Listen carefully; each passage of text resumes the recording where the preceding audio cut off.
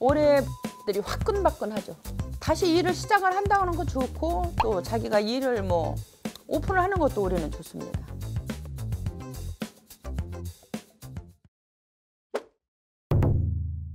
올해는 그래도 말띠들이 좋습니다. 아, 말띠, 범띠, 닭띠들이 그런 대로 올해는 괜찮습니다. 상반기는 외려 범띠, 말띠 그런 사람들이 좋습니다. 선생님 그럼 우선 말띠를 먼저 뽑으셨는데 우리 말띠 분들은 어떤 방면에서 좀 뭐 연애면 연애, 사람이면 사람, 뭐 취업, 뭐 일, 사업 이런 부분 중에 어떤 부분이 좀 말띠 분들이 좋아 보이시나요? 올해 말띠 같은 경우들은 쉽사리 얘기하면은 어 40대 말띠, 50대 말띠 괜찮아요 올해. 그래서 오 40대 50대 말띠들은 올해는 어, 그 동안에는 별로 그렇게 시원하고 열린 일들이 없었지만은 2021년도는 반대로 이렇게 문이 열리고 어, 사업 수반도 좀 열리는 운들이고 어, 인연도 자리 이동수도 좀 열리는 운들입니다. 그러면은 좀 사업이나 뭐 이직 이런 것들이 있다면 이직 제의가 온다면은 이분들은 가는 게 좋을까요, 선생님? 음, 오히려 하, 이런 이 말띠 성격들이 한 번 마음이 뜨면은 내가 움직여야 되겠다고 마음 먹으면 또 못 있는 성격들이에요. 움직여야 되는 사주지. 그럼 가야 가는 게 맞겠네요. 그렇죠.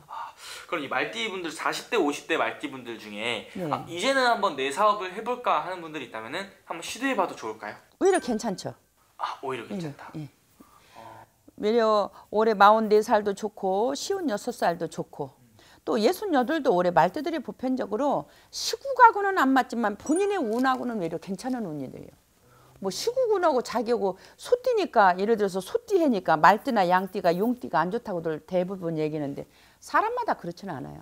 자기의 운이 정말 충이 되는 해에 내가 꽃이 피는 사주가 있고 정말 충이 되는 해에 내가 바닥을 치는 사람들이 있는데 그래도 올해 보편적으로 요 말띠들 좋아요. 또 선생님 상반기에도 좋은 띠를 뽑으실 때 우리 범띠 분들을 뽑으셨어요. 네. 우리 호랑이띠 분들은 좀 어떤 방면에서 좋을 것 같으신지? 올해 범띠들이 화끈화끈하죠.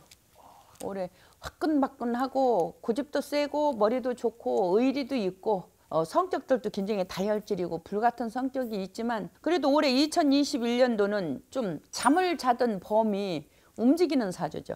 그래서 양력으로 1월, 2월, 3월, 4월까지는 쉬어가는 운이고 5월서부터는 외려 기지개를 피고 일어서는 사주들이에요. 범띠들이. 그러면은 이 범띠 분들 중에 네. 자기 사업을 해보고 싶다 하신 분들은 좀 5월달 가서 하는 게 나을까요?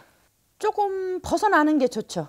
그 음력으로 말하면 한 2월, 음력 2월 넘어서 3, 4월부터 열리는 게 더 좋습니다. 그러면 양력 봤을 때는 한 4, 4월, 4, 5월. 5월, 예. 5월 이때쯤 시작을 예. 하는 게. 벗어지는 게 좋죠. 그 다음에 선생님 뽑으실 때 우리 닭띠 분들이에요. 네. 닭띠 분들은 또 삼재인데 선생님 또 좋은 띠를 뽑으셨네요. 아, 올해는 닭띠들이 나가는 삼재예요. 나가는 삼재이기 때문에 올해는 닭띠들이 외려 의외로 모든 것이 열리는 운들이에요.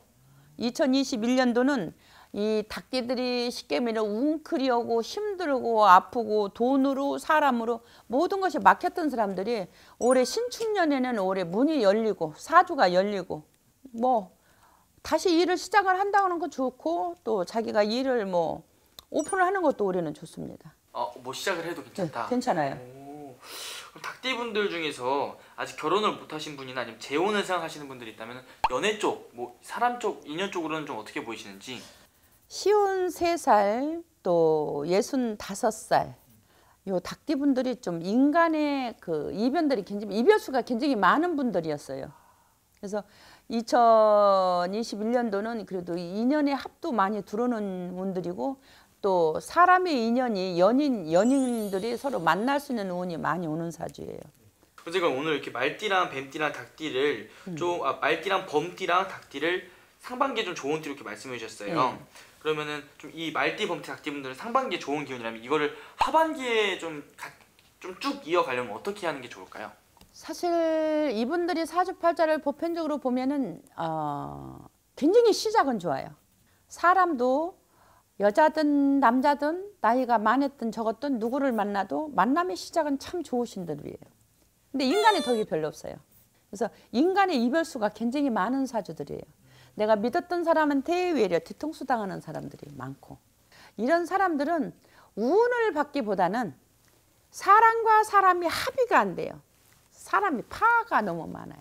그래서 이런 분들은 좀 파사를 좀 풀어줘야 되는 사주다. 어. 파사를 좀풀 수 있는 방법을 알려면 선생님한테 찾아오는 게 제일 빠르겠네요. 뭐 저희들이 이제 뭐 이렇게 살이 껴서 도저히 돈은 버는데도 돈이 안 되고 사람을 만나도 처음은 정말 온 내 인생을 바칠 만큼 눈이 멀어서 만나도 끝까지 못 가는 사주들 그런 사라- 사주들이 보편적으로 많기 때문에 그런 것은 인연이 충이 되고 인연이 파가 돼서 합의가 안 되니까 그런 것들은 비켜갈 수 있는 그런 비방록들은 있죠.